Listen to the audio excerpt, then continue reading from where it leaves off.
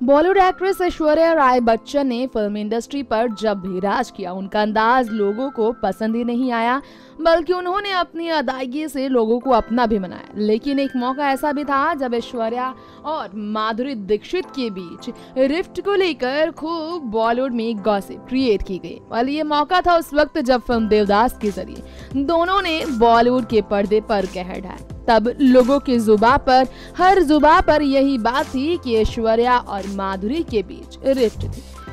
Reasons भी कुछ बड़े ही अजीब थे। दरअसल रीजंस बताए गए थे कि माधुरी दीक्षित ने देवदास के हिट सॉन्ग मार डाला में जो गाना गाते हुए जो उन्होंने ड्रेस पहनी थी।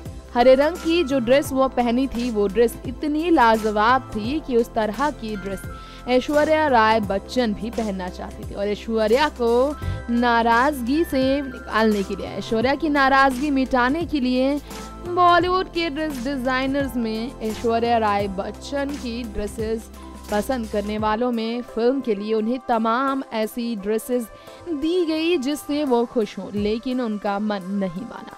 ऐश्वर्या को मनाने के लिए एक से बढ़कर एक आउटपुट दिए गए, लेकिन फिर भी ऐश्वर्या को माधुरी की आउटफिट ही लाजवाब। लगी खैर, ये बात अलग है कि कपड़ों को लेकर ऐश्वर्या माधुरी के बीच रिश्ता भी बदला था। ये खबरें थी, हालाँकि दोनों की दोस्ती तब से लेकर आज तक उतनी ही गहरी है और इनकी दोस्ती को भगवान न करे, किसी की नज़र लगे, यही दुआएँ करते हैं चाहने वाले।